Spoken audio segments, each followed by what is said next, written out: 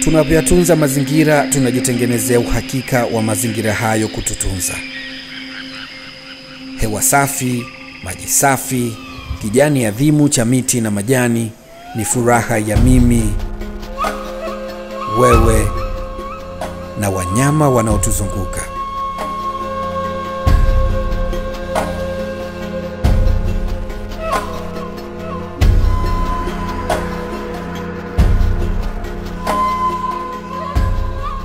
Hapa ni Morogoro, kwenye bonde la mto Ruvu, eneo lenye vyanzo vingi vya maji yanayotumiwa na mamilioni ya watu kwa kilimo, ufugaji, kunywa na shughuli nyingine za kibinadamu kwenye mikoa ya Morogoro, Pwani na Dar es Salaam.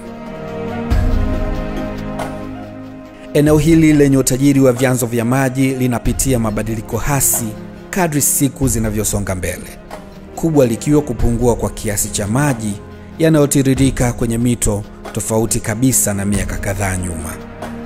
Katika mazingira ya kijiji hiki cha Mgazi kwa kipindi kilichopita zaidi ya miaka kumi, hali ya sasa na dhamani kuhusu maji au mito kumebadilika sana na kunashangaza.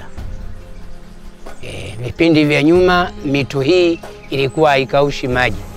Kwa mfano mto huu Mgazi, kuna mto mwingine unaitwa Mgeta, kuna mto unaitwa Bwakira, kuna mto mmoja unaitwa Mgata Mtumi. ilikuwa haipotezi maji. Lakini sasa hivi ukienda ni, ni kilio. Mathalani ukifika mto mmoja Bwakira chini, yalimokuwa akitembea maji sasa kumeota nguvu, jambo ambalo linatushangaza. Ah, hapa tulipo ni mto Mgata au tunasema Dutumi, umeona, ndo hapa tulipo. Lakini ukiangalia huu mto zamani haukuwa kama hivi ulivyokuwa zamani, ulikuwa na maji mengi. Tena ukifuatilia, ina maana huku sasa unakokwenda, ina maana sio mto ulikokuwa. Mto ulikuwa huko huko.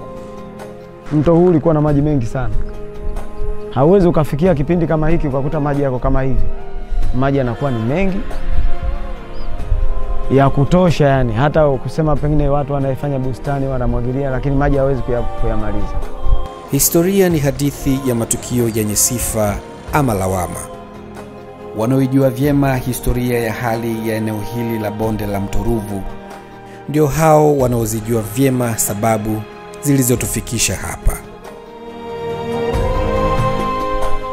Sababu za mto kukauka, mimi kwa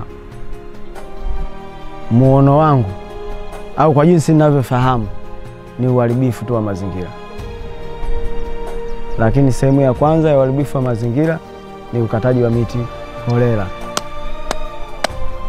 Ukataji miti kwenye maeneo hayo unaenda sambamba na uharibifu mwingine, uchomaji wa miti. Lakini hizi si sababu pekee. Wakulima, baadhi ya wakulima wanalima kando kando ya mito na wanakata miti na kilimo kile cha nyasi, kwa hiyo kuna baki wazi. Kwa hiyo hiyo nayo nimejifunza kuwa ni sababu ya pili ambayo inaweza ikatibika. Uchungaji wa ng'ombe kuchungwa kwenye vyanzo vya maji, hii ndio limekuwa ni tatizo na ndio linaleta hata mmomonyoko unaofanya leo hii mto huo unahama mara uko huku mara uko huku. Hiyo ndio sababu. Wanyama wametapakaa maeneo haya yote, na wanyama hawa mara nyingi hupata chakula chao kando kando ya mito. Kwa hiyo wamekula nguvu zote au nyasi, kukabaki ardhi wazi, na ardhi iliyobaki wazi inashambuliwa pia na wanyama. Wakati wanakuja kunywa maji, mchanga unashuka kuelekea kwenye maji. Kwa hiyo mchanga unanyonya maji na maji yanazidi kudidimia. Kwa hiyo chanzo kikubwa kabisa kabisa ni wanyama. Mifugo hukanyaga ardhi oevu, huziba chemichemi ndogo ndogo ambazo ndizo zinazoleta uhai wa mto. Bahati mbaya, baadhi ya wa wafugaji hawaamini katika utunzaji wa miti. Mara nyingi huikata miti ili kuweza kuona na kuhesabu mifugo yao. Lakini pia juzi juzi juzi nilifuatilia mto mmoja Mgata ule ambao uko kule Dutumi, nikafuatilia kujua, kwa sababu maji yanapotea sana. Nikagundua wapo wachimbaji wa madini, madini yanayoitwa dhahabu. Kuna mashimo makubwa, ukienda ukiona, basi utasaidia kilio au kuwa na uchumi. Mashimo yako kando kando hivi ya, ya mto kwa hiyo wakichimba hapa, maji haya yanakwenda shimo hizi, maji haya yanatokeza pale. Kwa hiyo maji badala ya kupata mkondo wake yanaingia ndani ya kwenye mashimo. Kwa hiyo tunaotegemea maji huko chini hatuyapati kwa urahisi. Katika kufanikisha zoezi la uchenjuaji, wachimbaji wa madini huchimba mabwawa ndani ya mto, na zaidi wachenjuaji hutumia zebaki, yani mercury, ambayo ni hatari kwa afya ya binadamu. hiyo sehemu unakuta mtu ana, anaziba mtu apate sehemu ya, ya, kuchimba ya, ya, ya, ya, kwa sababu apate pa kuingizia hata, hata, hata mashine yani kusudi apate azame hapo chini, kama maji haya atoe, ndo azame chini atoe hiyo veni atafute zao. Namuuliza mchimbaji huyu endapo anafahamu kwamba anachokifanya kina athiri uhai wa mtu huu pamoja na mamilioni ya watu.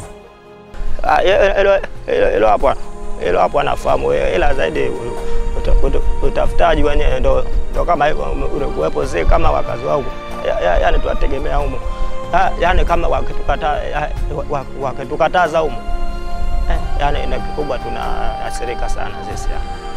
Ndo kama kweli ndo tunarejua ndo kama ndo maana ya tuwajiba hivyo hivyo. Sasa tunafanyaje sasa?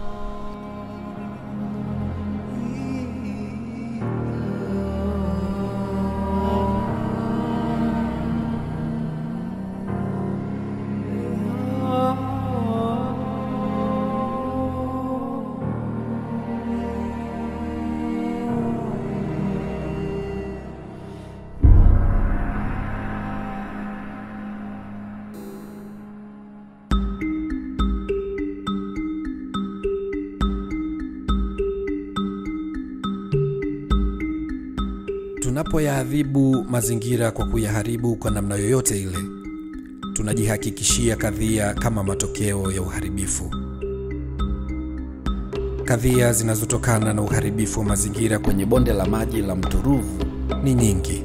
Zipo za papo kwa papo, zipo za kuathiri vizazi vijavyo, si vijijini, si mijini.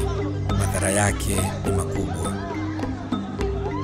Kuhusu wanyama, nilikuwa napendekeza ushauri wangu kwamba viongozi walioshika nafasi za juu, hasa ngazi za wilaya, ngazi za mkoa, sababu wanyama hawa wanatokea barabara ya Dodoma, wanyama wanakuja na huko huko ambako viongozi wakuu wapo.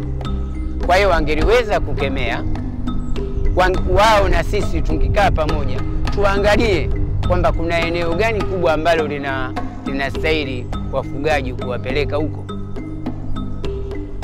Kwa hiyo ushauri wangu ni kwamba viongozi, naomba wajaribu kuingilia kati na kuliangalia tatizo hili, wanaweza wakanasua, kwa maana si kwa sababu ya kuwafukuza au kuwafanyia jambo lingine baya, kwa maana mifugo inategemewa na chakula kinategemewa. Sasa mfugaji akiwa jirani na mkulima, kinachofata ni, ni ugomvi, ni kuuana, wakati nchi yetu ni ya amani.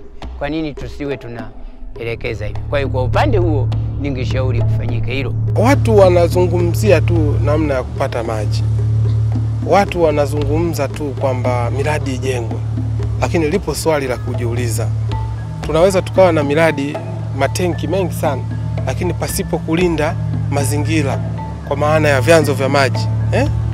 Mtu anaponiambia athari za mazingira nazijua. Kwa kubwa ambacho nachotaka kuambia Watanzania na wananchi kwa ujumla, mazingira yana kisasi E, ukiyatunza yatakutunza, usipoyatunza yatakuadhibu.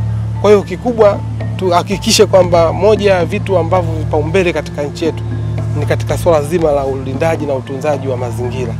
Wengine wanaweza wasielewe, tukawa tupo tu kwenye warsha, makongamano, tunazungumzia masuala ya mazingira, lakini kiuhalisia lazima tuende field, na lazima hili swala si tu kwamba ya sekta fulani tu ya Mheshimiwa Jafo peke yake. Hii ni sekta mtambuka, lazima tukubali kushirikiana kwa pamoja. Nimeona kazi mbaya inayofanywa kwenye mto wetu, mto Ruvu, lakini na maeneo mengine ya mito. Watu wanajenga mabwawa ndani ya mto, wanachepusha maji kwenda kufanyia kazi nyingine, kwenda kusafishia dhahabu, madini na mambo mengine kama hayo. Lakini zaidi ni kwamba kuna idadi kubwa ya mifugo inaingizwa kwenye mito. Mifugo hawa, picha aliyonionyesha pale, ni ng'ombe zaidi ya elfu tano wamevamia mto Ruvu, na kwa mahesabu ya mifugo, ng'ombe mmoja kwa siku moja anakunywa lita 45, ng'ombe mmoja siku moja. Sasa ng'ombe elfu tano wanakunywa kiasi gani ndani ya mto Ruvu mpaka kubakie maji yanayoweza kwenda mpaka yafike kwenye mitambo yasafishwe na yaende kwa wananchi. Kwa hiyo, waziri wa mifugo, naomba sana mkae muangalie njia ambazo mifugo yenu itakwenda kutulia pahali, na hii ni kwa nchi nzima, wala sio Pwani, Morogoro na Dar es Salaam peke yake, ni kwa nchi nzima. Mifugo inasambaa ovyo, na hawa nao ndio wanasaidia moja, uharibifu wa mazingira, kwa sababu ardhi wanayoikanyaga mifugo elfu tano kwa mara moja. Kama ni ardhi yowevu, ile ardhi inaacha kuwa yowevu na maji yanaacha kutengenezwa kule chini. Lakini kunywa lita 45 kwa ng'ombe mmoja siku moja na mamilioni ya ng'ombe ya nchi hii, huo ni uharibifu mkubwa wa mazingira. Kama ni kulima kando kando ya mto, nilikuwa na shauri viongozi ngazi za tangu huku chini eh, mabwana shamba kutuelimisha ili tuweze sasa, tusiweze kulima kando kando ya mto, tusiweze kuumiza miti, nyasi ambazo ndio kinga kubwa ya mto. Tungeweza hiyo kuacha.